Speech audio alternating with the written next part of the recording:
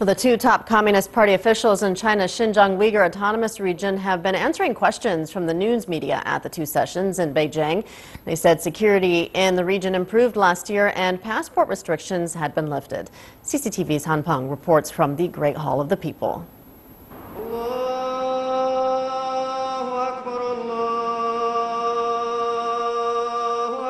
Xinjiang was rocked by terrorist attacks in 2013 and 14, but there have been few reports of violence in the last year.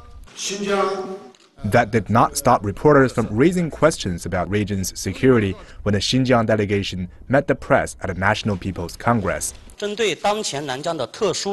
Xinjiang's party chief Zhang Chunxian had a positive message. The security in Xinjiang is improving. With the number of terrorist attacks dropping by a large margin, the region is becoming more capable of preventing and handling terrorist threats, despite the increasingly complicated international situation. This time last year, Zhang confirmed for the first time that the influence of Islamic State had reached Xinjiang.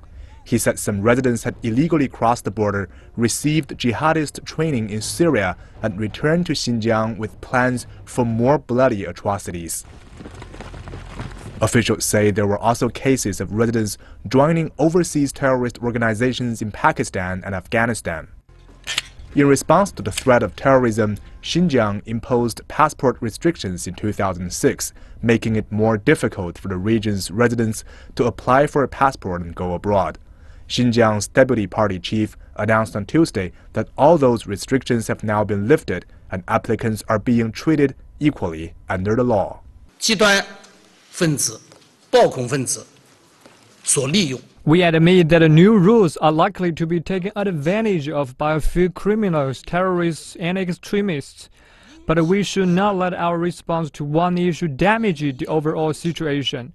Now we are confident about the improved regional security and committed to opening up the region and making things convenient for the people.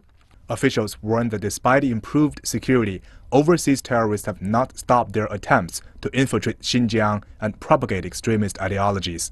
Regional authorities have sponsored authoritative Islamic religious leaders like Abdurekep Tumniyaz to interpret Quran for ordinary Muslims. 许多新教群众都认识到了宗教极端思想的危害。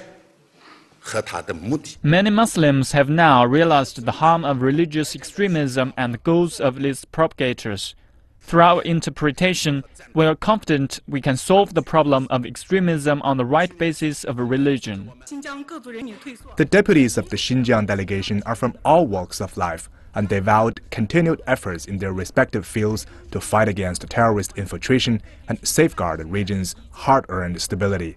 Despite the heavy focus on Xinjiang's security situation in the Q&A session, deputies say that the fight against terrorism does not represent the whole of Xinjiang. They say that the region is a beautiful landscape with friendly people and fast economic growth and hope that reporters could pay a visit on their own before drawing any conclusion. Han Peng, CCTV, Beijing.